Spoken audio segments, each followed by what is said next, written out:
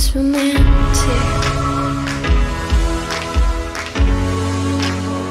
When I should run from the light.